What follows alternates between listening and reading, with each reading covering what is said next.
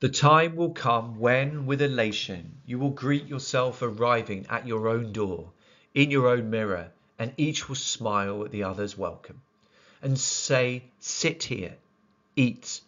You will love again the stranger who was yourself. Give wine, give bread, give back your heart to itself, to the stranger who has loved you all your life, whom you ignored for another, who knows you by heart. Take down the love letters from the bookshelf, the photographs, the desperate notes. Peel your own image from the mirror. Sit. Feast on your life. In this poem, Walcott attempts to get those of us heartbroken following a failed relationship to pull ourselves together, to learn to love and appreciate ourselves again. By properly focusing on ourselves, life can become much richer and fulfilling. Past mementos of pain need to be banished, and instead we need to open the gates to the joys of self-love. When we think of greeting, we invariably think of interactions with other people and showing them respect and appreciation. The persona suggests that at times we need to do this to ourselves and not in a perfunctory way either, but with elation, with great joy. And we shouldn't just greet ourselves once and forget about it, as implied by the parallelism in line 4. We need to greet and self-love ourselves at our own door, in our mirror, as regular reminders about our own value and worth. The fact that this self-love is something to be taken incredibly seriously is illustrated by the incorporation of terminology taken directly from Christian communion eat, give wine, give bread. The Christian communion is a time to reaffirm our belief and faith in God. Within this poem, we need to metaphorically eat, give wine, and give bread to reaffirm our belief and faith in ourselves.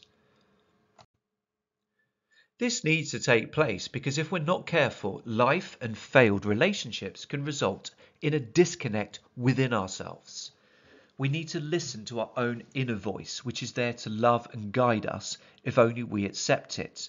Something has gone wrong if this voice has become a stranger. And our own identity affirming, self loving inner voice has always been there and has loved us all our lives, something the persona reinforces through the cross stanza on enjambment. Emily Bronte in Love and Friendship shifts to purposeful imperatives in the latter stages of her poem. And Walcott does the same here with the instruction for us to take down the love letters from the bookshelf and any other toxic reminders of a painful past in which our sense of self has been corrupted. Note the overall structure of the poem with stanzas getting progressively shorter. This reflects our need to strip back superfluities from our lives, to simplify, in order to provide our inner souls with the time and focus required to restore our lives to happy contentment. When I think of peeling, I normally think of stickers from Sports Direct purchases, in which I'm keen to hide the fact that some trainers I bought for one of my sons cost 25 quid rather than 60. However, Walcott is surely thinking of the need to discover and uncover, tiny bit by tiny bit, what we are as human beings. We need to peel our own image from the mirror in order to go back to basics and appreciate every part of our body and selves. Such an act is essential for regenerating self-love. Those who take the time and space to reflect and self-love are left with a veritable banquet to enjoy in terms of life. Sit, feast on your life.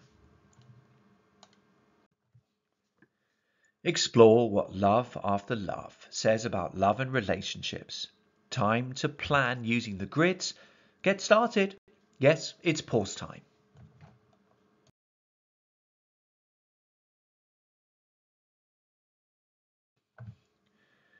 Love After Love presents self-love as important above all other loves in life.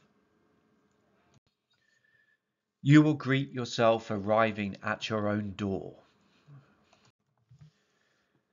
A spiritual dimension is important in life, not only in understanding yourself, but also in facilitating deeper relationships with others. Sit here, eat, give wine, give bread. Moving on from past relationships is essential to ensure healing and future happiness. Take down the love letters from the bookshelf, the photographs, the desperate notes. In my model paragraph, I write Love after love presents self love as important above all other loves in life. The first stanza includes the striking phrase that at some point you will greet yourself arriving at your own door.